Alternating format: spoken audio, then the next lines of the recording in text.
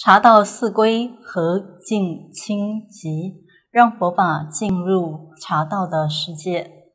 茶道四归和静清寂，就是将佛法放入茶道的境界。茶道里面有所谓的四归，也就是所谓的和静清寂，这是我们的茶道四归。那这和静清寂呢的原处，它的怎么解释呢？和其实我们按照字面上每一个字来解释好了。和本身呢，就是代表人与人之间的就是和平的相处，国与国之间啊，然后人与人之间，还有物之间。那嗯，和敬敬呢，也就是对彼此的尊敬。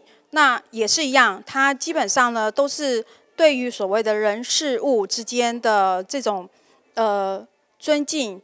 的态度，那清其实那个清呢，你你们会大部分就是三点水一个清清天的清，清水的清，但是它代表洁净。这个洁净的意思，并不是说指环境的洁净，而是代表说一个人的心境上面，就是他要处于洁净的态度，也就是你要清明如水的心去看待所有一切事物。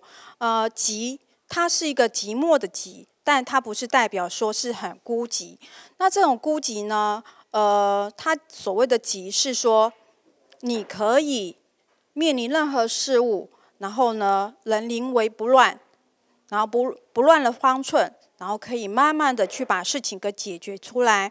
那所以说呢，其实这种寂是代表了你有这样子的呃。